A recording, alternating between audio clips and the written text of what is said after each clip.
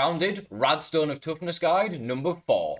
What you need to do is come to this area of the map right here. We are inside of the sand pit. Then you're going to need to go into the secret tunnels in the sand pit and you'll find the stone right there. Make sure you have a tier 3 hammer to break this. It'll give you 3 tough nuggets, 3 cool tough nuggets and 3 rad tough nuggets. Make sure you use them to upgrade your weapons as much as possible in the game.